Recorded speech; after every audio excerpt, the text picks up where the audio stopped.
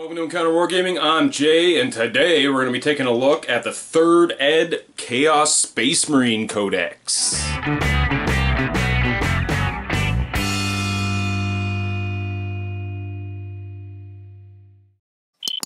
Codex Chaos Space Marines. So, this is super nostalgic for me, especially because this is when I started playing Chaos. Now, like I say, I started playing the game in 2nd Ed, but uh, I was playing Orks back then. And of course I can they completely redid my ork army in third, but uh, in third I really started to do chaos, so that's something. And as you guys know, I am a huge chaos fan, so this is awesome looking back on this. Uh, why don't I just shut up and get into it? so, badass cover art, again, that sort of third ed style that we only we only really see this style of artwork in the third ed uh, books. I'm not sure who this artist is again. Maybe you guys can help me out. Uh, actually, I was going to say comment below and let me know who this artist is, but in fact, let's open her up and it'll probably tell me who the cover art is. So let's just get right into it. So as usual, some nice colored pictures of some battlefields. As you can see, we're still using second ed models. We got the old second ed rhinos here. Um, all the pewter Catachan guardsmen the old school one pose plastic berserkers, which is awesome. In fact, they've worked a couple of the multi part Chaos Space Marines in there. Look at the old blood letters and how silly they were back then. I remember those guys in Second Ed. Death to the false emperor! So, unlike usual, their table of contents has actually just been condensed into this weird little column along the side. That's really strange, as well as all the publisher information. So uh, this one we're looking at 1999, cool, so we're keeping on par with all the other ones we've been doing. And in fact, I really want to find out who did the cover art, so let me just take a look here. Book cover art, Wayne England. Sweet.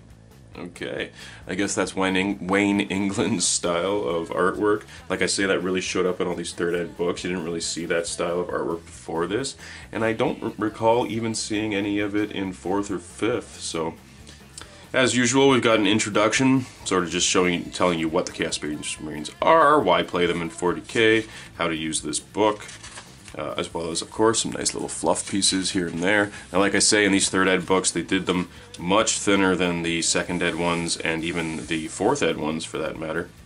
So, um, the fluff was just little snippets like that. They didn't give you pages upon pages upon pages of fluff. Because as I've said before in the past, it seems the reason they did this was because a lot of the fans were saying that they didn't want to spend an arm and a leg on a book that was just full of fluff when there was no rules and all they really wanted was the rules. So they just gave you books with basically rules, and then of course everyone complained that there was no fluff, and so they went back to that in fourth. But for right now, this is what we get.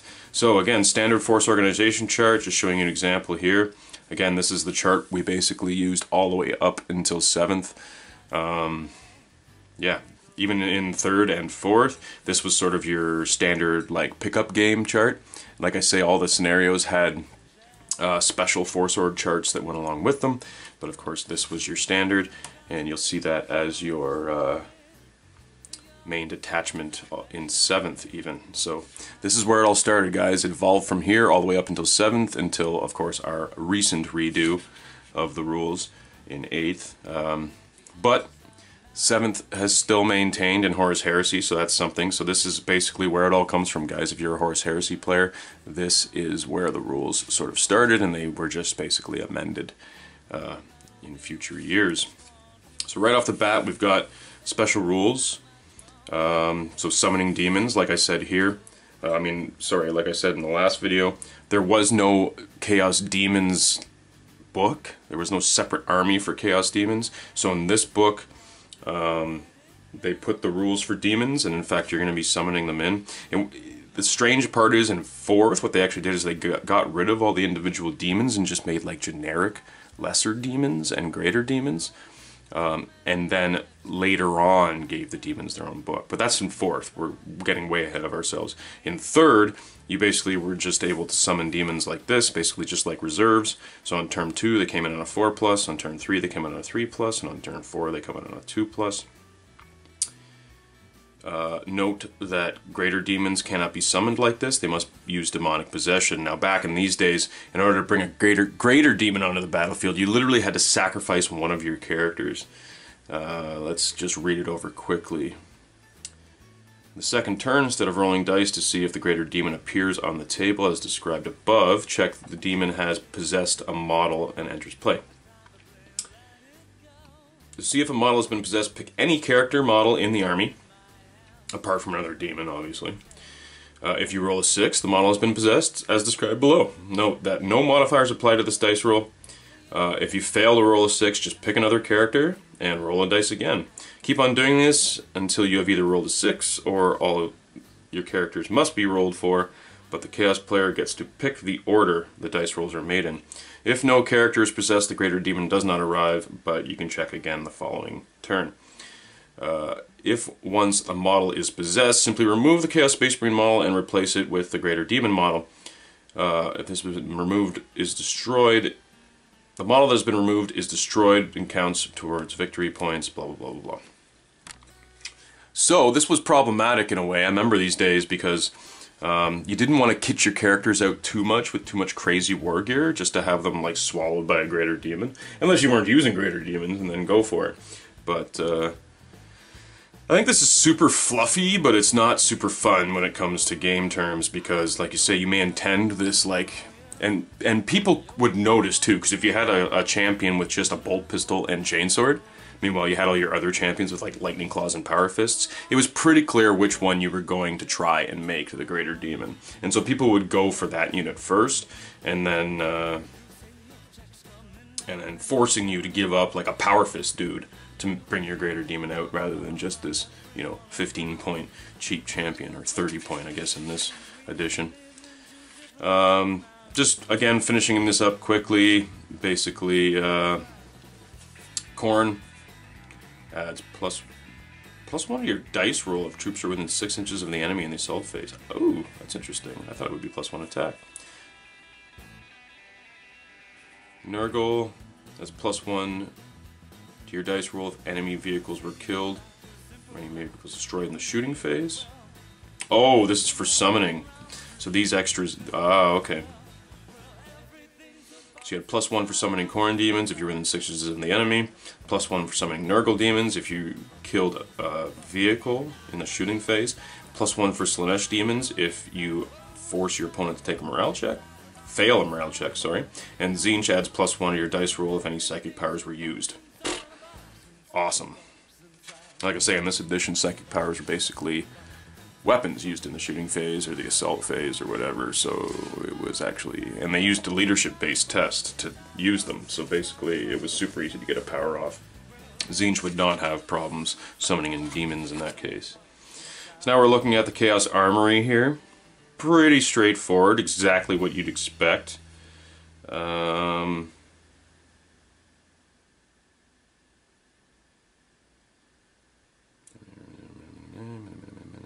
Yeah, okay, so it was the 3.5 where they did that crazy Demon Prince shenanigans, and we'll talk about that in the future one, so sorry to get off topic there, guys. But uh, basically, yeah, this is it. So if you've given your guys a mark, you get access to these gifts here, which basically added, you know, extra war gear. Uh, for the most part, though, it's your standard stuff. Um, you know, your standard weapons, power fist, plasma pistol, blah, blah, blah, blah, blah. Sorcerers can have sorcerer's staffs, uh, combi weapons, war gear, you had bionics, chaos armor, which is basically, as I, if I remember correctly, artificer armor, right? It's a two up save instead of three up save. Uh, chaos space marine bike, jump pack, crack grenades, mastercrafted weapons, sorcerer's scrolls, interesting for sorcerers only. Spiky bits, there's something I missed. So I believe that was either a plus one attack or a re-roll to your uh, one attack dice or something like that, kind of like mastercrafted. Just because your guys had spiky stuff on them. Super cool. Um, Yep, Terminator armor, and then your Marks of Chaos. Uh, vehicle upgrades are your standard stuff that we're still used to seeing nowadays, I suppose. Ah, Demonic Possession. That was something that was fun to add onto your rhinos and stuff like that. Like, literally, your guy would get out, and the rhino would, like, eat your dudes as it came across the battlefield. Uh, the cool thing was they actually had god-specific vehicle upgrades, which don't exist anymore, of course. So Slaanesh, he had a Warp Amp, which was basically like, you know, a sonic attack. Uh, Nurgle Infestation, I believe, made the uh, tank tougher. You got Coruscating Warp Flame, which basically as guys assault the tank, they get hit back immediately. And of course the Destroyer, as you charge in, the tank gets to make a bunch of attacks, which is cool because in this edition your tanks didn't get to make attacks like they do currently in 8th. So, just like the Space Marines, we have two levels of Chaos Lord, which is interesting because they've done away with all that now. And in fact, the Chaos Lords now are even more powerful than the Exalted Lord here. So you got a Mighty Lord and an Exalted Lord, and in fact you could upgrade him to be a Chaos Sorcerer. So there you go. So you could have a Sorcerer Lord leading Tzeentch unit. Um, so the Thousand Sons now have Sorcerer Lords, but in the basic Chaos Space Marine book there is no Sorcerer Lords. There's just Sorcerers, right? So if you really want a sorcerer heavy army, you kind of have to go Thousand Sons, I guess, rather than feeling from the core book. But again, we're not here to talk about 8th, we're here to talk about 3rd, so let's get back to it. Uh, yep, standard stuff. Can have a retinue, takes from this war gear list, blah blah blah blah blah. Again, like I say, these entries are very uh, short because basically all they're doing is telling you refer to this page, refer to that page. And there was a lot of that in this edition, I think to avoid uh, reprinting things a bunch of times. So there was a lot of refer to this, refer to that, refer to this, refer to that. Whereas now they just put like basically everything in the data slate that you need. So all you really need to look at is that one data slate instead of flipping around this book, that book, whatever, go rule book, fucking. You'll see even that they do a lot of supplementary codices in this edition, um, which means you're flipping back and forth a lot. And actually, to tell you the truth, it kind of stayed that way all the way through, even up until the end of 7th there. And it's still like that in Horus Heresy. You need like fucking 10 books to play Horus, 10 books on the table at a time to play Horus Heresy, which annoys me. But anyway. Um, so your Chaos Lord's retinue, this is interesting. Instead of just having an entry for the retinue, much like they would uh, Space Marine um, retinue, they actually allowed you to take Cult Marines as your Lord's retinue. So, for example, if your lord has the mark of Tzeentch, she gets Thousand Sons as his retinue. If he has the mark of Khorne, he gets Khorne Berserkers as his retinue. Nurgle, Plague Marines, Slaanesh, Noise Marines. And if you're just undivided, it's just basic veteran Chaos Space Marines. All of these would be included in the Elite section, is my understanding. Uh, yep, so we're still going through HQs. We've got a Demon Prince. Cool. Uh, just skimming over him quick. Yeah, nothing really special. You give him wings for 10 points. He gets marks of chaos just like everybody else. Uh, fearless monstrous creature, invulnerable save. Standard, 5 up invulnerable save. Wings give him a 12 inch move. He can have psychic powers if he is not Khorne, right? Psychic Demon Prince can use psychic powers that they may choose in the armory section, described, uh, found in the war gear section. So it actually doesn't say that he can't have psychic powers if he's Khorne. But I guess there is no Khorne psychic powers. Right, let's check out the psychic powers section here. Hmm. Don't see a psychic powers section in the war gear list. So what does it say here? Choose powers that they may choose are included in the armory section of this list.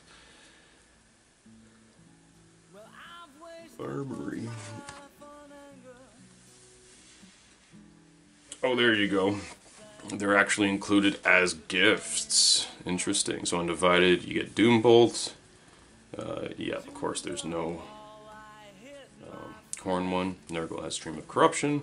Slaanesh has Fleshy Curse. And Tzeentch, Flames of Tzeentch. Cool. Awesome.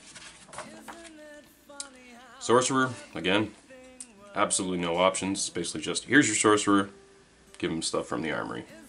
Independent character, you can have psychic powers, pretty straightforward. Greater demons, see, as I say, that we actually have Bloodthirsters, Great Unclean Ones, Lord of Change, and Keeper of Secrets.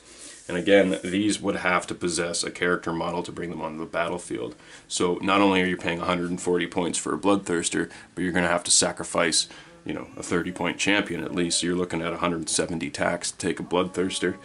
Um, if you gave that champion no war gear options, that is. And why would you do that? Because, especially because it's iffy as to which character will actually end up possessed. Now, of course, you want the one that you're going for first, but again, if that fails, you have to go through all of your characters until they're all done.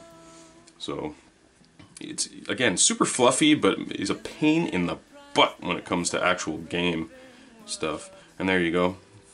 The, uh, greater demons of each individual god automatically come with the, the psychic power listed in the war gear list, so I guess that would be included in their points, because you can't really give these guys any upgrades. Yeah. Yeah, I know they have no options. They're fearless and fearsome, which is interesting. They cause fear. Which is funny, because the uh, psychology rules are very slim in this edition, but I guess they're even... I guess they're actually more than they currently are in 8th, so is what it is. Moving on. Elites. Got Terminators, of course. They have Deep Strike. Um, yep, Terminator can remember with an autocannon or a heavy flamer. Any model may upgrade a combi bolter to a combi flamer, combi melta, power fist, lightning claw. Now, they actually have included separate points here because the war gear section would include those things.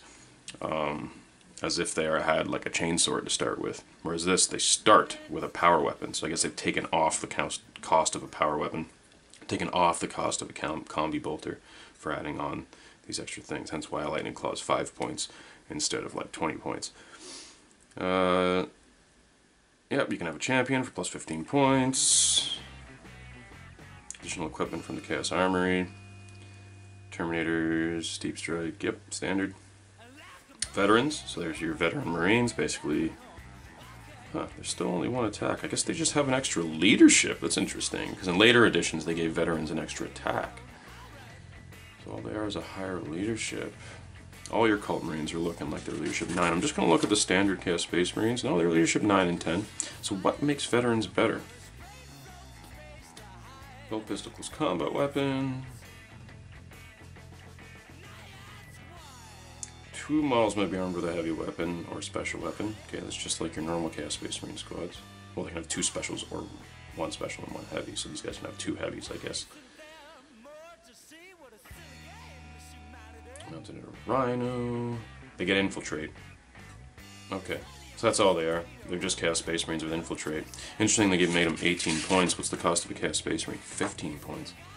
So it's like 3 points a model just to give them Infiltrate? Huh. Alright. Whatever.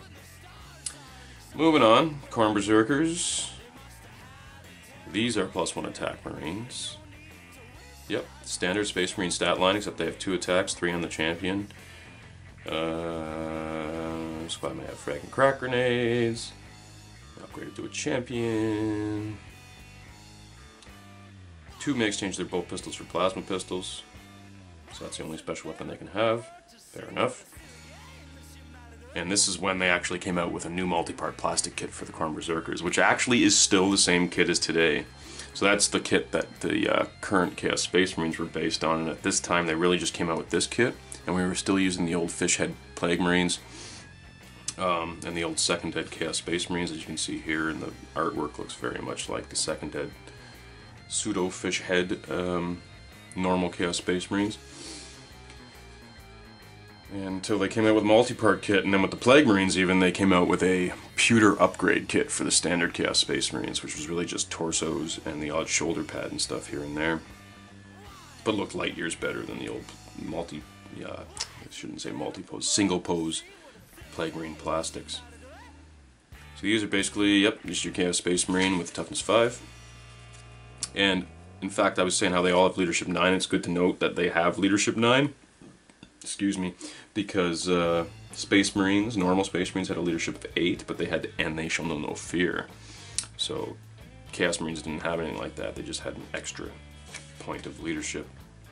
Now, obviously all your Cult Marines are fearless, fearless, fearless, uh, but your normal Space Marines and Veterans, as well as Terminators, are not fearless. So that's something to note.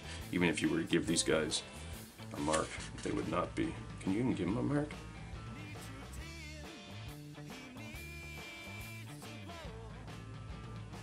Wow, you can't even give Terminators a mark. Lame. Huh. Now in third, they actually came out with Index Astartes army lists later on in the White Dwarfs, which allowed you to take Cult Terminators, Thousand Son Terminators, Khorne Berserker Terminators. And in fact, it started to give you, uh, if you took a Khorne Berserker squad, for example, in 8 or 16 uh, models, you got a free champion upgrade, so you didn't have to pay that extra 15 points. Or Khorne Berserker's 18 points, actually. Plague Marines is extra 20 points. Wow um, for the aspiring champion. If you fielded your units in those numbers, they automatically got the aspiring champion. Thousand Sons, of course, they've just listed the basic Thousand Son rules here. Um, so clearly, wow, they don't have the aspiring sorcerers attached. That's weird. Five and ten thousand Sun cast Space Marines. Now, there you go, troop choice. I believe it said that for these two. Yeah. So if your lord has a Mark of Nurgle, you can take Plague Marines as troop choices. Uh, Mark of you take Khorne Berserkers as troop choices. Mark of Tzeentch, you take Thousand Sons as troop choices. Huh, strange that they don't have the aspiring sorcerers leading the units. Hmm. This was before they actually came out with the pewter upgrade sprue again for the Thousand Suns, much like they did for the Plague Marines. Now they have brand new plastics, which are absolutely spectacular. But the old upgrade sprue would come with a aspiring sorcerer, a pewter aspiring sorcerer model, and uh, a unit of Chaos Space Marines with the pewter Thousand Son upgrades, which I believe were just heads, maybe some shoulder pads. And Possessed Marines, the introduction of Possessed Marines. This is the first time we've ever seen Possessed Marines in Warhammer 40,000, which is pretty cool. So as you can see, they're just a normal Space Marine stat line, bolter close combat weapon. You can put them in a Rhino if you want. However, they get this uh, table to roll for their possessions. So this is this is the crazy part that you weren't you, you couldn't choose which ability they got, which made them very uh, problematic on the battlefield. Because some of these are really good, and some of them are just kind of meh. You know, like plus one attack, eh. But uh, Vorpal Blades and Claws, so basically they're our own power weapons. That's insane, right? Being able to move 12 inches instead of 6 inches, that's pretty cool. Causing fear and, you know, an extra strength, an extra attack didn't make a huge difference. Uh, it's funny that their save becomes invulnerable if you roll a 6. So They don't automatically come with a 5 up invulnerable save like they did in later editions. Um, they have a 3 up save and then that becomes invulnerable, which actually is pretty crazy to have a 3 up invulnerable save, especially in this edition, or in any edition for that matter. Uh, troops, so we've got Chaos Space Marines, of course, your basic Chaos Space Marines, they are the same as they've always been. Um, yeah, you can have up to one heavy weapon, one special weapon, Wow, it doesn't say they can have two special weapons. One other cast sure Holland. Yeah. Shitty. Hmm, I guess it's fourth onwards then the two special weapons if you don't take a heavy. Take a second special, because it actually doesn't say that here. It says one Space Marine may have the following missile launcher, autocannon, heavy bolter, las cannon. One other Chaos Space Marine may have the following melta gun, flamer, plasma pistol, or plasma gun. Huh. And then Frag and Crack Grenades, Aspiring Champion for 15 points, Rhino for 50 points, boom. Standard. Space Marines. Now, Demon Packs, here you go. They did put them as a generic Demon Pack entry, but they put here um, what models you use to represent them.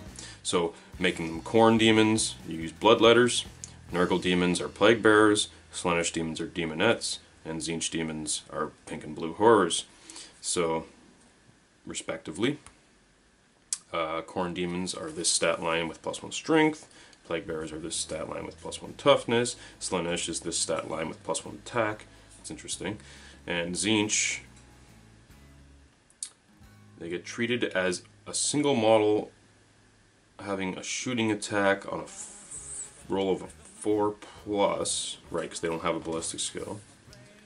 So their hits on 4 pluses with the following Strength 4, AP 6, Assault 2. So It's basically just a two-shot pistol.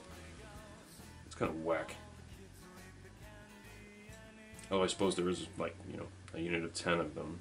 So you could technically do 20 Strength 4 shots at 12 inches. That's not great at all. Boo. Boo on the horrors. Boo. And then Nurglings, obviously, is a separate troop choice. That's interesting. They do not. They are not summoned. That's pretty cool. They start on the battlefield. Neat. Okay. I'd forgotten that they were even a, just a standard troop choice. It's cool that you don't have to summon them. However, the fast attack choices now we're getting. Oh, sorry, I skipped the Rhino. There it is. I mean, it's a Rhino. Really not much to say there. They have standard vehicle upgrades from Thing. Starts with a Storm Bolter. Havoc Launcher, Storm Bolter, Searchlight, Smoke Launchers. Yep, standard upgrades. Carry, carry 10 Chaos Space Marines, cannot carry Terminators. Alright, so we didn't have as much of a wide array of demon models in this edition to choose from. So for demonic beasts now, they only have the three god options. There is no Nurgle option, so I guess beasts of Nurgle weren't really considered part of this.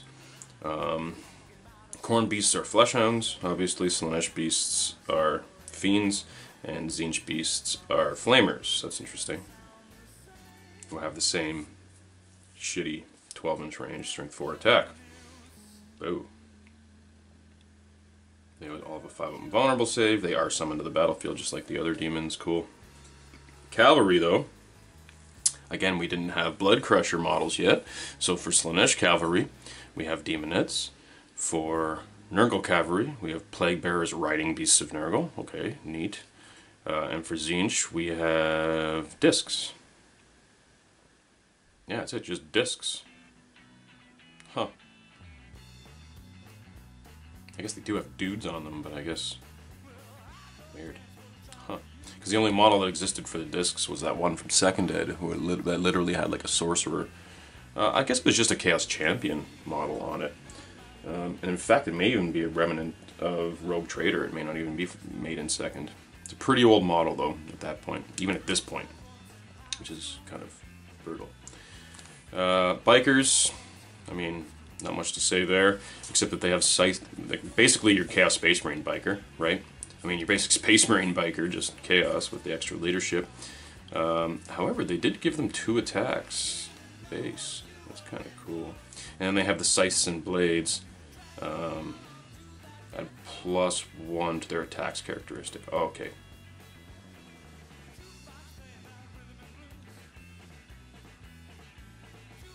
Doesn't say it's included in their profile, it says it just adds.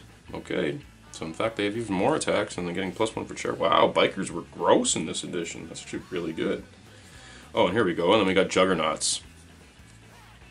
So, I guess Blood Crushers weren't even a thing yet, but they had Juggernauts just as their own. Yeah, Juggernauts just running around on their own. Crazy. Bunch of demon cows. 45 points a model. Wow. Toughness 6, though. With strength 5, initiative 5. Wow. Only two wounds each. Hmm. Still, someone's just like any other demons. Difficult to destroy, so they have a 5 vulnerable save. Yeah, nothing special there. And the introduction of Chaos Raptors. So in Second Ed, they never allowed you to have Chaos like Assault Marines with the jump packs. Um, the fluff logic there, at least, was that they weren't able to maintain that technology since the Heresy, um, because it's just way too hard to maintain without the proper Adeptus Mechanicus access. But in this edition, they brought in the Raptors. Super cool models, I thought at the time, anyway. And in fact, I had quite a few of these old school models up in, in my Night Lord's army up until recent, which I actually just recently sold. I wish I hadn't, but I needed the money, so what can I do? But uh, I had all the old winged uh, Chaos Raptors, which just suited Night Lords way too perfectly because of the wings on them. And uh, they're basically just assault marines. I mean, they have jump packs. Um, oh, they cause fear, which is interesting. And they have hit and run. That's neat. So they can assault and then jump out 3d6 inches. Just because. Uh, two can have either a plasma pistol, melta gun, flamer, or a plasma gun. Yep. Sparring champion, 15 points. Okay, nothing special there. But the first time we've seen Chaos Raptors, and in fact they're 0 to 1. It's interesting to note. So that they're saying now that they do exist. There are Chaos Space Marines with jump packs flying around, but they're so rare that we're only going to let you take one unit in your army. Okay, so be it. Uh, Chaos Havocs. So, again, just your Devastator squad. Basic Chaos Space Marines with four heavy weapons. Uh, yeah, and crazy enough, they don't even have the option for four specials because the last few editions, um, if you didn't take the heavies, you could take four special weapons. So it's interesting that they can only have heavy weapons in this edition, or in this book, I should say. Interesting that they've put Noise Marines as a heavy support choice because they are, like the other Cult Marines, a troop choice if your dude has the Mark of Slaanesh, your lord has the Mark of Slaanesh. So that's neat. Uh, yep, Fearless. They have noise weapons. Please refer to the Warrior section. Okay, so we'll have to check and see what noise weapons do compared to normal weapons. Uh, three models can have a Blastmaster or a Doom Siren. Hmm. Up to three models in the squad might have either a Blastmaster or a Doom Siren. So it's not just the champion gets the Doom Siren. Weird. The entire squad may be equipped with Crank Crack Grenades. Uh, aspiring Champion. Automatically is armed with a bolt pistol, close combat weapon, and Doom Siren. Maybe be given additional equipment from the armory. Crazy frick, man. You could have four Doom Sirens in a unit? Ew. Now, Obliterators. Again, this is the first time Obliterators have appeared in the game. And in this edition, they were mutated Marines, not mutated Terminators like they became in 4th. So if you see the original Obliterator models from back in 3rd, they're very small. They're just slightly bigger than a Space Marine, and they fit on a 25 mil base, which is kind of cool. Um, then in 4th, they redid the Obliterators to be more like just larger Terminators, uh, which made a whole bunch more sense actually. But uh, anyway, this is the first time they were introduced, and as you can see, they have a Space Marine stat line. They do a 2-up save, but I think that's to denote the fact that they have Chaos armor as opposed to Terminator armor. Um, yep, Fearless. They have body weapons. Their bodies morph into weapons. Um,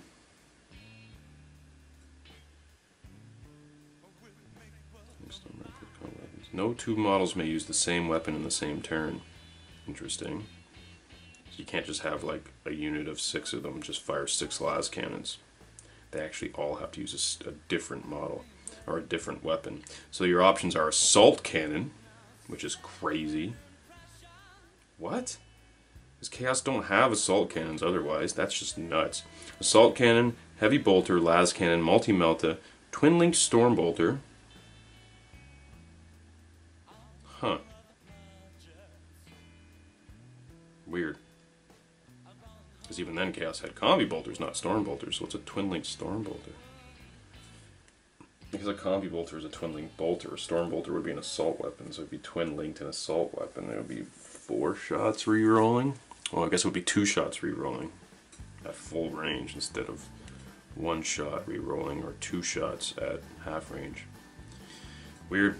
Twin Linked Meltagun, Power Weapon and Power Fist.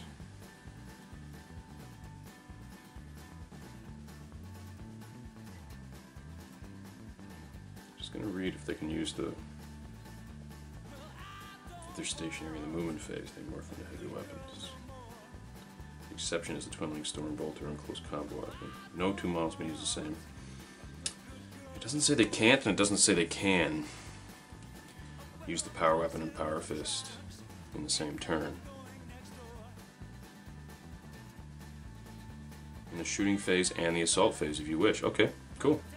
In the assault phase they have a power weapon and a power fist. Power weapon or power fist, I suppose. And no two models can use the same weapon, so if you had three in the unit, how would you?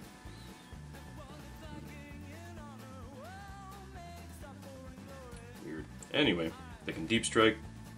They can't charge. Now that's interesting. Obliterators are slow moving and prefer to rely on shooting.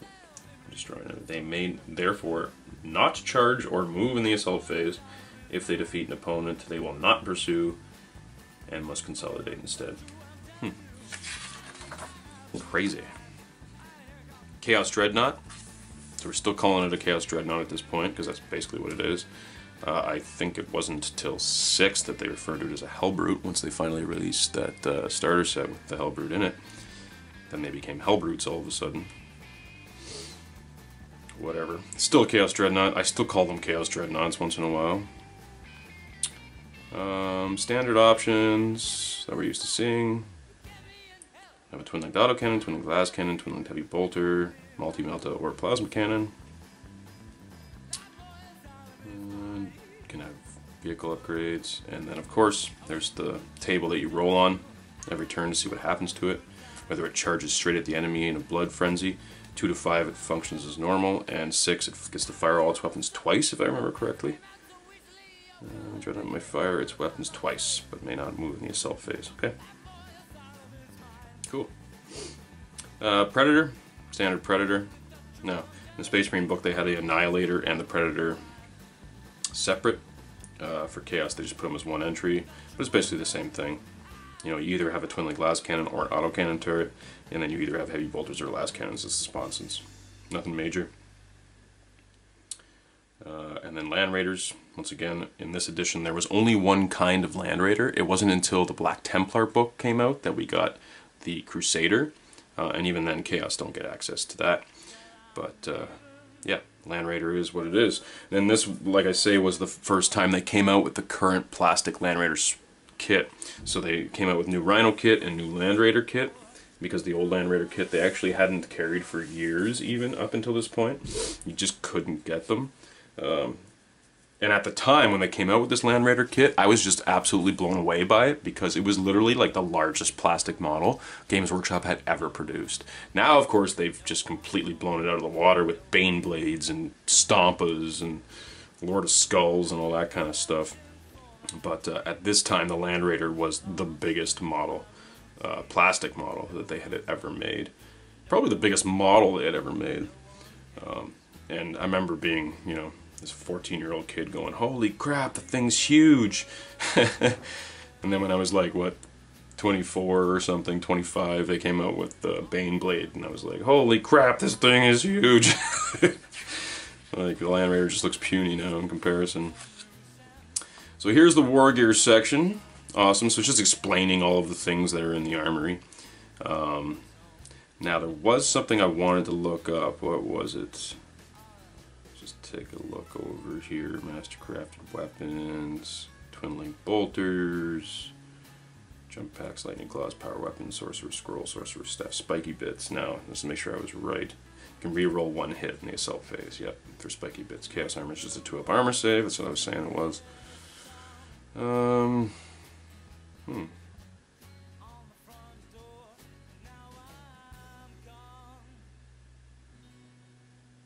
Fire weapon, sorcerer scroll, sorcerer stuff. Huh. Alright.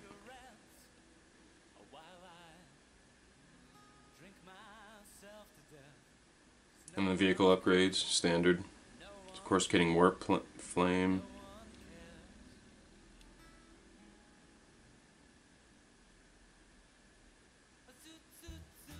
Yep, any model attacking the vehicle suffers a strength D6 AP4 hit. Interesting. Possession ignores shaken or stunned. No effect on demonically possessed vehicle.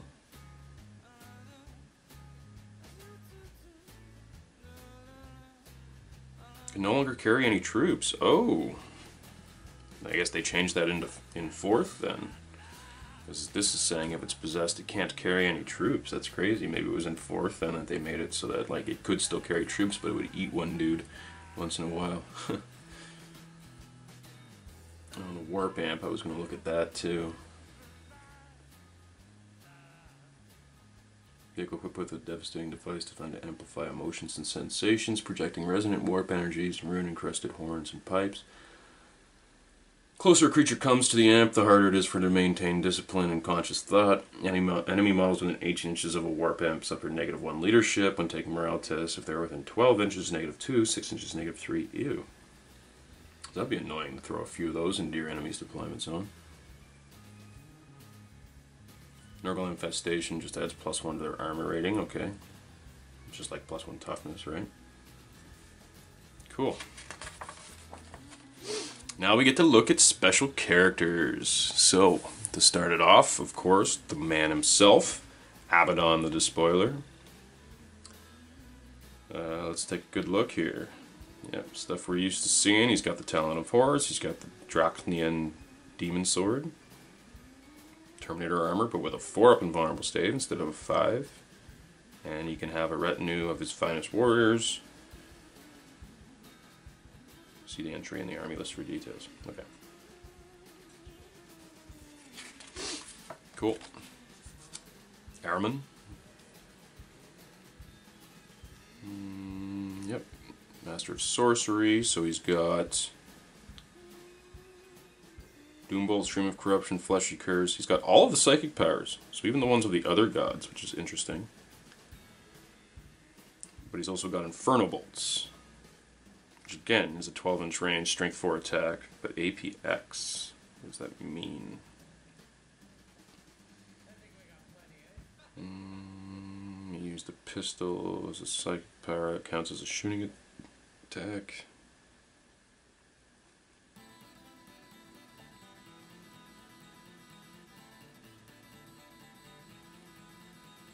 Otherwise, armor saves are ignored. Okay, so you can take invulnerable saves against it, but no normal armor saves. So that's not bad, I guess. It's basically just a pistol attack. Doom Rider. Now there's a character that we only like we've seen in a couple of the other books so far in third that there are characters that are in this edition and never we never saw him before and we'll never see him again. Doom Rider was one of them. He's basically just a badass Slaanesh dude on a motorbike or on a chaos bike, I guess. He's summoned to the battlefield just like a demon, huh? Wheels of fire. Even though he's on a bike, he moves like a jump pack. Crazy. He's got Slaanesh, he's treated having an invulnerable save, and therefore his armor save against all wounds he takes. Normally pierces her. She's got a 4-up invulnerable save as opposed to a 3-up armor save. That's crazy.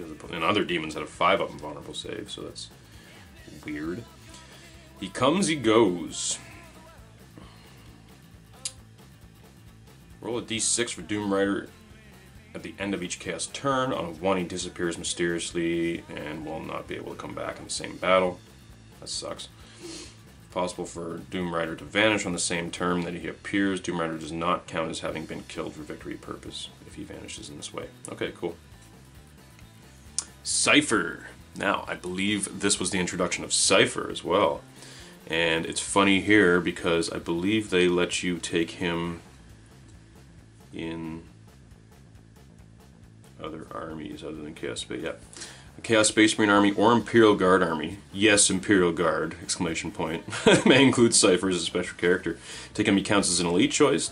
Must be used exactly as described below. Um, cannot have extra equipment from the armory, obviously. So Mastercrafted Bolt Pistol, Mastercrafted Plasma Pistol, C'tan Phase Knife. So there you go. Counts as a power weapon. So we actually haven't seen the Necron Codex appear yet, so the, ne the C'tan are not actually a thing. They're only mentioned here and in the Assassin. Remember we talked about uh, Calidus, Assassin, the chick? Gets a C'tan Phase Knife. So it's the same thing here. He's got a C'tan Phase Knife. Now, if Cypher is on the battlefield, you must roll 1d6 for each squad, for a squad that he joins. On a roll of a 1, the members of the squad argue amongst themselves and may not do anything for the rest of the turn. Cypher can carry on as normal. Animosity rule only affects squads that are equivalent have no effect on characters and vehicles. In addition, this rule does not affect any squad of fallen angels. Huh, I didn't think there were fallen angels in this edition. Oh, okay, it's included in his thing. Okay, cool. Cypher is protected by an unknown chaos power who spirits him away at the last moment represents by Cypher as a 4 up and Vulnerable save on 3d6. Yeah, attacks and damage reduces his wounds to 0. Special save that is made when Cypher is killed and may be taken after his armor save. Okay, weird. He's got a normal 3 up save, and then he's got a 4 up save on 3d6. So, like, unless you roll three ones. Unless you roll three ones, he's not going to uh, fail it. So, remove the model as if he had been killed, but he's not counts as victory points. So, pretty much he's guaranteed to not count as victory points. Uh, he's able to aim and fire a pistol with each hand. This enables him to fire two weapons in the shooting phase. Mastercrafted bolt pistol, and one is his Mastercrafted platinum pistol. If he remains stationary, he may rapid fire the two pistols, letting him take four shots. Cool.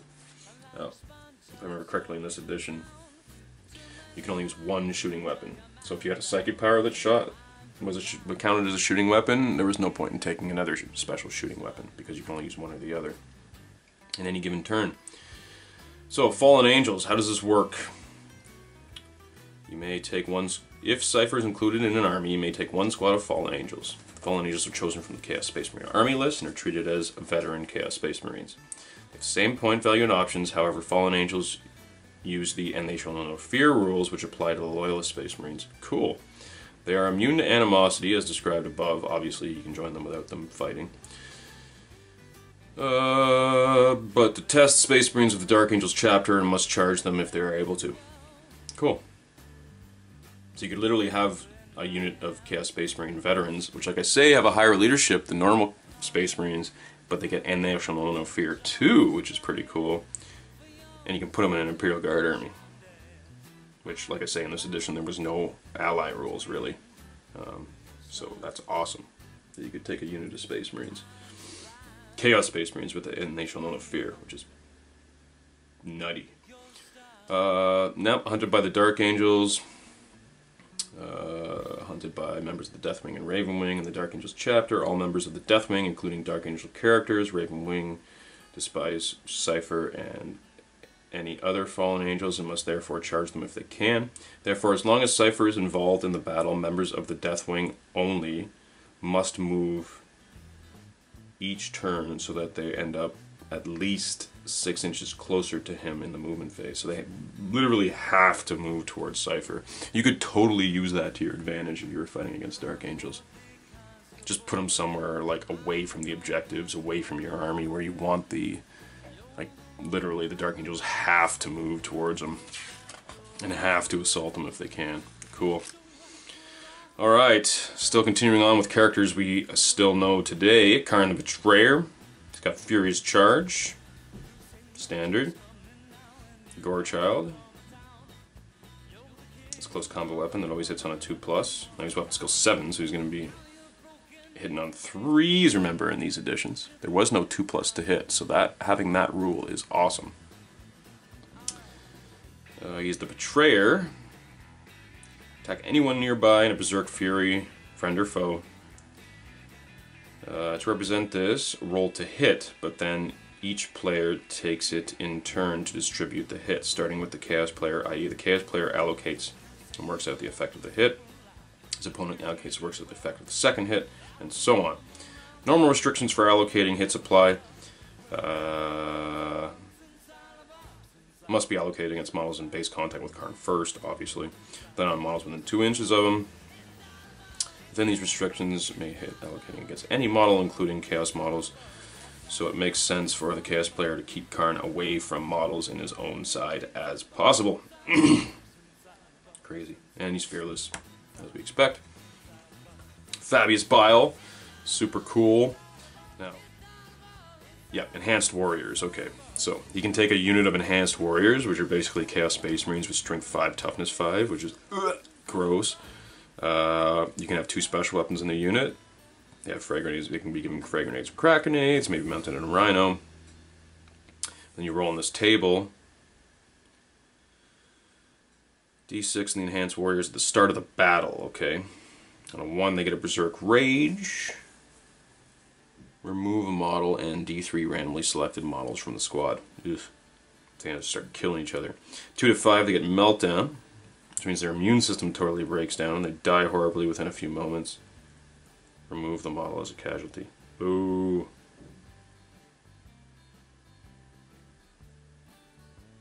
We have to roll a d6 for each dude. Jesus. And on 6, you created a monster.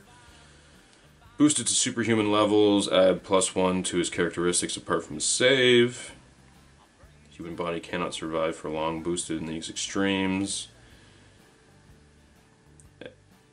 After the battle ends, the warrior will die, assuming he didn't die during it, and counts as having been killed for victory points. So even if he didn't die, he still dies for victory points purposes. Now, Fabius Bile himself.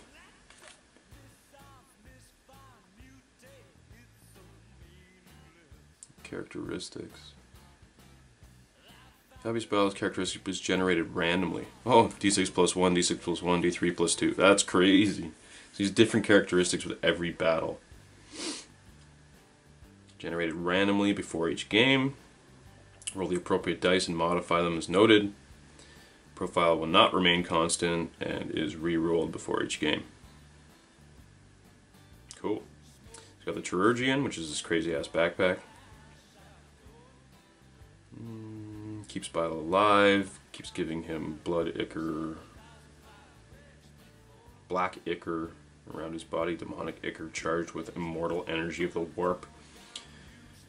Uh, gives him a 4 up invulnerable save, and it may taken instead of his 3 up save, of course, not as well, obviously. Because in second you could take both. In this edition, it was either your normal armor or your invulnerable save, which again lasted right through, uh, even until the present. You can have his enhanced warriors, okay. He's got the Rod of Torment, which counts as a close combat weapon. Any opponent that suffers more one or more wounds from the Rod of Torment is immediately disabled by the pain and is removed as a casualty. That's basically an insta-kill weapon. Awesome. He has a Xyclos Needler, which is a gun that fires a dart of virulent poison, causing the victim to explode. As the following profile. 12 inches, strength NA, AP 6, assault 1. Doesn't have a strength value and always wounds on the roll of a 2+. plus. Gross. If the target is killed, the blast you may place a blast marker centered on the exploding model. Excuse me. Roll to hit other models using the rules for blast weapons. Attacks have a strength equal to the exploding model's toughness. Neat. And an AP value of the victim's saving throw, i.e., if you hit a Space Marine, it would be a Strength 4 AP3 hit. Neither counts as having a strength of 1 if fired at a vehicle, so it's useless against vehicles, basically. Here we go, the Chaos Gifts. Maybe this is where I was trying to look for something. Yep, so the Doom Siren, there you go. I was saying you could have like three of them in a unit. It's disgusting because it's a flame template with a strength d6 plus 4. So it's strength 5 to 10. Ew. Roll the strength each time it's used. Plague Knife, Plague Sword, Rapture Standard, Sonic Blasters, Steed of Slaanesh, Talisman Tzeentch. There was something I... Ah. Whatever. Doesn't matter. There's your psychic powers. Here we go. Marks just described briefly. So Mark of Khorne gives you plus one strength. Uh, Mark of Nurgle plus one toughness. Slaanesh plus one attack. And Tzeentch, they pass psychic tests automatically. Undivided allows you to re-roll your morale checks. Okay, so Chaos Space Marines have a higher leadership, and if they're undivided, they get to re-roll their test, rather than the Space Marines, whereas if they fail, they fall back and automatically rally. Right. This way, you get a second chance to not fall back. So, you know, six of one, half dozen of the other, I guess. But I'd probably rather have Van They Shall Know No Fear. But anyway. So again, we're finishing off the book with just some fluff. Oh, we're not finished yet actually, because here come the color pages. But yep, just some fluff on each of the legions. Again, I'm not going to go through fluff in these videos, guys. I might go through fluff videos in the future if you guys want to see them. So if you do, please comment below and I'll start doing fluff videos. But for these, I'm just showing you these awesome books and trying to bring back memories, right? Or for those of you who didn't play in these editions, it's just cool to see the evolution of the game, right? That's why I do these videos see where it all came from, you know what I mean? So here we go again, we're looking at the old Second Ed stuff. This picture is like right out of the Second Ed book, with the golf Green table and everything. These are the old plastics. And a cool converted Terminator Lord. Neat. The old metal demon prince. Look at that guy right there. That is so funny looking, eh? Now that was a Warhammer Fantasy model that obviously, of course, they let you to use in both games. Um, then they came out with another metal demon prince for 40k specifically before they came out with the current plastic kit, which again can be used in both games. The old Plague Bearers, the old Bloodletters, there you go, showing demon packs. I still like the old Flesh Hounds. I think they look pretty cool. They're almost just as good as the ones we have now anyway. And the old um, Seekers, the demonettes with the big ass crab claws. It's funny that they don't show the demon, normal demonettes here, but uh, yeah, the big crab claws they used to have. And this was before the, the they did another round of pewters after this again with the very elven looking um, demonettes as opposed to these, which are basically just hideously ugly chicks with crab claws. And the old Second Ed Chaos Space Marine bikes, which were just the Space Marine bike kit with a pewter front shield and pewter blades that you threw on the sides. There's the old Oblitz. Take a look at those guys. How silly looking are those models? Nuts, right? And like I say, they're Space Marine size. They're not Terminator size, so that's something to note. There you go. The old pewter and plastic Plague Marines, the Chaos Dreadnought model. I used to have quite a few of these, but I've now since chewed them up for various conversions. Like for my Ork War Boss and Mega Armor, I used the legs as well as for my uh, Death Dread. Anyway. So as usual, they're showing you your basic army. Cool that Dreadnoughts are heavy support choices. It's interesting, because later they made them elites to go in line with the Space Marines. And again, I love that they do this in these books. They don't do that anymore, where they show you like a deployment. This is how you. These are the tactics you should kind of think about when you're deploying your Chaos Space Marines. This is how you summon your demons. You know what I mean? To block your unit and have them just charge into the catachans before the catachans get to do anything to the Chaos Space Marines. Using bikes to flank the opponent. They just don't talk about tactics in the codices anymore, right? We just don't see that if you want tactics, you got to go on online and look up other people's opinions on tactics, rather than just giving. Like I like this like neat, neat little thing here that they do in all the books. In fact, like I say, back in this time, I used to, if I was planning an army, I would actually draw out a bunch of circles on a page in like these formations, you know what I mean, and think about like, okay, I'm gonna take these guys move them this way, these guys are to go up, and these guys are to support those guys, and I literally draw it on a sheet with arrows like this and everything. I don't do that anymore. I probably should when designing an army. Here we go, and now we got a better look at the old school demons. So the old flamers, I remember a buddy of mine had these. Basically like a mushroom body with like a bird head. Crazy. The old pink and blue horrors. Now in Second Ed, when you killed a pink horror, it became two blue horrors. They've done away with that in this edition. They both just became the same thing. And they're basically just heads with arms and legs. Like, silly, right? And there's the old demonettes. Look like vampires with crab claws. Not attractive at all. Unlike the next round of pewters, which are beautiful. Just beautiful women with six boobies each. And here you go, just showing you some basic Chaos Space Marine paint schemes. So this is the very basic Iron Warrior scheme. Which I'm glad has evolved since. I play Iron Warriors personally, and this is just way too basic. But they're trying to show beginners how to do this, right? And it doesn't even look like there's any washes used or anything. You know, it's just a dry brush, trim, extra color for detail. Boom, done. Same with the dreadnought. Dry brush, paint the gold trim, paint the little details, done. Quick, easy Chaos Space Marines, get them on the battlefield, start playing.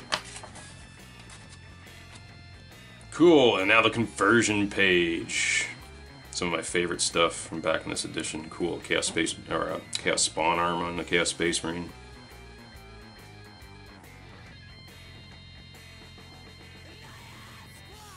I was telling you a very simple way to paint blood letters by using red inks, making them look wet and bloody.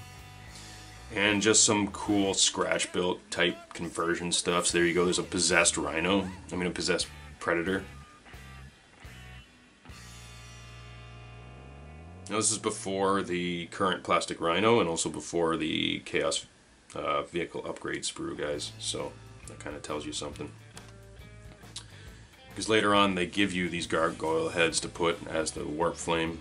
This they actually used the head of a greater demon on the front. That's hilarious.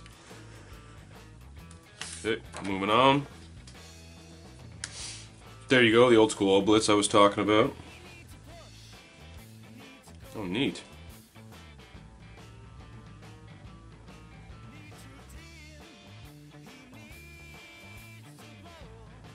Plastic ork power claw on the. Yeah, that's cool. The old school second ed power claw. This is pretty cool. It's like demonette claws on a old school Chaos Space Marine model. I actually want to find out what that was. Left and above.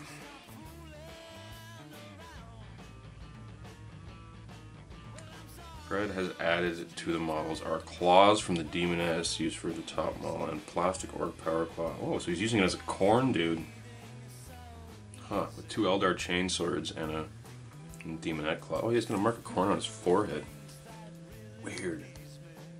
Again, square bases, square bases, square bases. so there you go, this is the old Demon Prince model, but they put a Minotaur head on him. Which is cool, but awfully strange looking the old Bloodthirster. I still got one of these, and I still got one of these as well. Um, this guy I've tuned him for bits though, which is kind of sad, but I love that sort of devil-looking head as opposed to like the dog head they came out with later.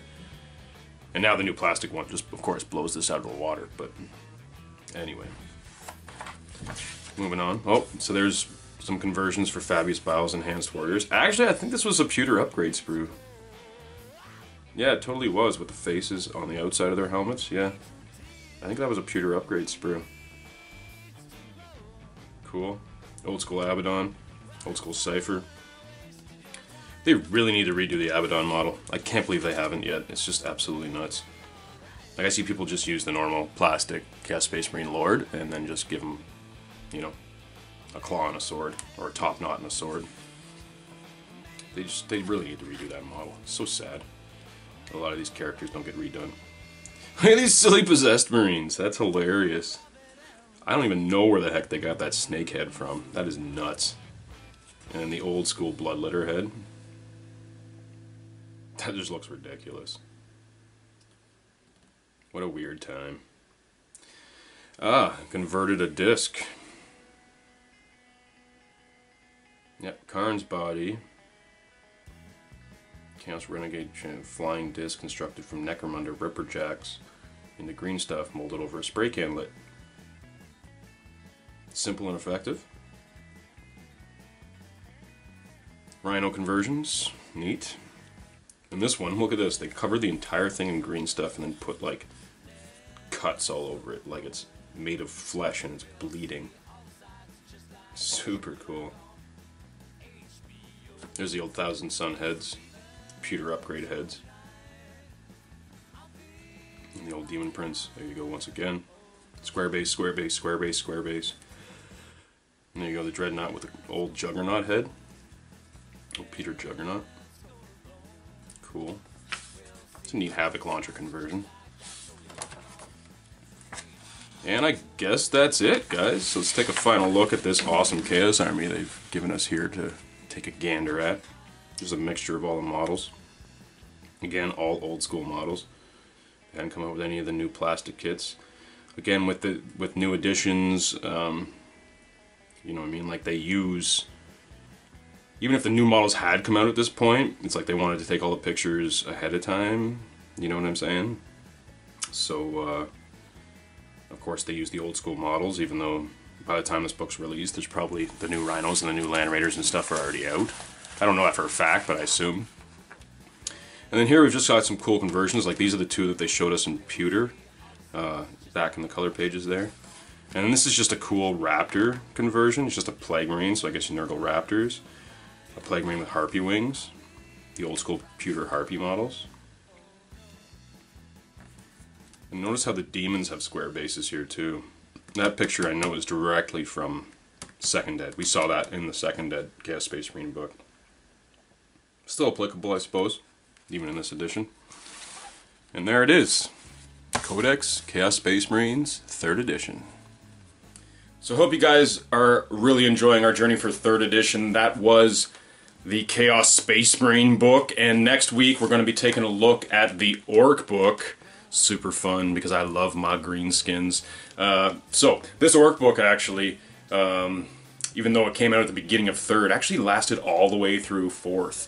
Uh, we didn't actually get a new book until like right before 5th drop.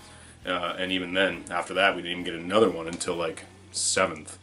Um, so, you know, the Orks get shafted. But this book, just the rules were so freaking amazing. And they were even amazing when they changed the rules to 4th, that they didn't even have to come out with a new book. This book was so good. So, I hope you guys are looking forward to checking that out la next week. Next week. Last week? Next week. Hope you guys are looking forward to checking that out next week. this week, I hope you guys enjoyed the look at Chaos Space Marines. Again, this is when I started playing Chaos, so this was the first book uh, I jumped into Chaos with, and it only got better after that. I mean, literally the 3.5 slash fourth one was great. The 4.5 one was a little weird, right before fifth there, but then uh, the sixth that one was just spectacular. So anyway.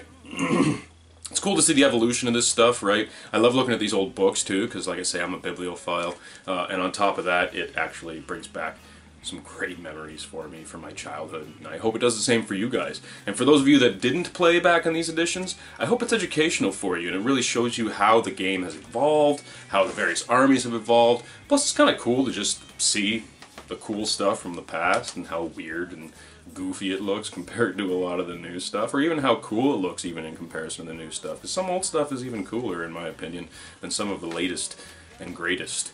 You know what I mean? So anyway, hit the like button below if you liked this video. Make sure to hit subscribe if you want to see future videos, and hit that little bell notification so that it tells you when our future videos come out. I don't just do these uh, Relics of the Dark Age, guys. We do hobby tutorials, we do uh, painting tutorials, we have terrain tutorials, we have battle reports, we even have a podcast, uh, as well as a whole bunch of other stuff, just fun stuff that we do on this channel, all wargaming related. And we don't just do 40k, we also do Malifaux, we do Infinity from time to time. Uh, plus, we are getting into a whole bunch of new miniature games, guys, which I'm not going to go over right now, but there is going to be some crazy stuff coming up in the future, so stay tuned for that. In order to stay tuned for that, you got to hit that subscribe button and that little bell button. It's just that simple. Just a click, like, click subscribe, and click that bell, and you're set to go. But if you want to help us out and you know sort of return the favor back, help us uh, make things better around here, get better equipment. Like I say, we're always doing terrain, we're doing new miniature games all the time, and providing, trying to provide you guys with the best content we possibly can. And uh, so, if you want to help support us monetarily to help us produce said content. You can head to the description below and check out our Spreadshirt page, first of all. Buy yourself a nice t-shirt with our logo on it, or uh, a hat, or whatever else you want with our logo on it. And we get a few bucks from that, it just helps us, um, and it gets you a cool t-shirt, or a cool hat, or a tote bag, or whatever the heck you want. Uh, a coffee mug even with our logo on it. But aside from that, we also have a Patreon campaign, guys, so go down, check it out in the description below. Uh, and for as little as a dollar a video, or even a dollar a month, um, it can help us out a lot. Like I say, gives us a little bit of money to help, like I say, improve our equipment and keep going with all the terrain and various miniature games that we do. Plus help us keep the lights on, if you know what I mean. Um, and in return, you get a whole bunch more stuff. So for that single dollar, it gets you a whole bunch more content. It gets you behind the scenes content. Like I say, when we do series of videos, a lot of the time we'll put one video in that series for patrons only. Uh, so it gets you access to those things. Plus you get 10% off the warpainter.com, which is awesome because he's got lots of Vallejo Scale 75, Broken Toad, all those brushes, uh, all those brands that are hard to find elsewhere. Uh, just by being a patron of ours, by paying that $1, you get 10% off all your purchases of Vallejo paints and stuff mailed right to your front door. So, I mean, you really can't go wrong. Also, check out our website, encounterwargaming.com. On there, uh, it'll have links to all of our various social medias as well as a um, archive of all our past podcasts uh, if you want to check that out. And uh, I guess that's all to be said for now, so we'll see you at our next encounter. Hey everybody, I'm Adam. And I'm Jay. We are Encounter Wargaming. And we wanted to celebrate hitting our 1,500 subscribers with giving some stuff away. What are we giving away, Adam? Forge Bane! All right, we're calling this the 2,500 subscriber Forge Bane giveaway because that's the target we need to hit to give this puppy away. That's right. So the first thing you need to do is share this video, the video you are watching right now. And Then, click subscribe on YouTube. if you haven't already, That's it for one entry. and the more you share it, hopefully, the more people we can get to hit subscribe and hit that 2,500. Woo! But there are other ways to win as well. Tell them about it. Well, you can follow us on Twitch. That will also get you an entry. So you subscribe on YouTube, follow us on Twitch. On top of that, Support us on Patreon for five big buckaroo entries. crazy. So also all the people that already support us on Patreon, don't worry, you're also five entries. But also, you can hit subscribe on Twitch. Subscribing on Twitch will get you another five entries into the contest. So good, and all of this to say thank you guys for all the support. We appreciate it very much. We've come a long way, and it's because of you. It's true. It's been a wild ride, and thanks for all the support, all the help, and we want to give a, give you some cool stuff as a thank you. Awesome. So, hey, remember to share this video. And uh, guys, I think that's it. So we'll see you at our next event.